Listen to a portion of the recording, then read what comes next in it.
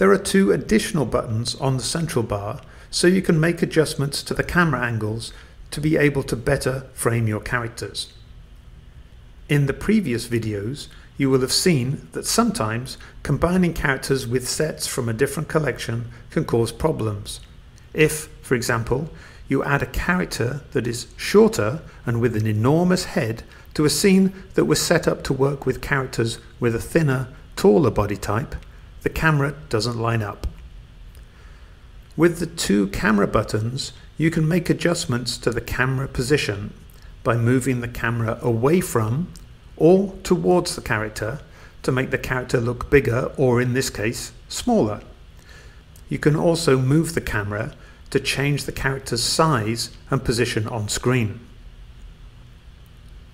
When you're happy with your camera adjustment and the new position, you need to save the new position by replacing the old camera angle with the new one you've just created. You do that by clicking here. As you do so, you will see that the image displayed for that camera updates to the new position.